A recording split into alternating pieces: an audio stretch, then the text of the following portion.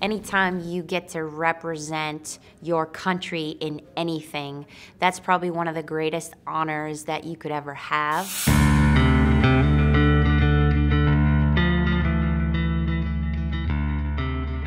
My last experience as a player uh, was in 2005, and on the US soil, we ended up uh, losing to a great Australia team. And, you know, it kind of was pretty disappointing. We wanted to win for our coaching staff, it was their last time as coaches. And so I just feel like I have a little bit of unfinished business in terms of helping the U.S. program soar at the level that we, we want to and we are capable of.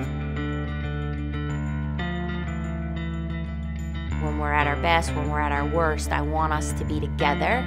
And, you know, the ultimate goal is to win a championship.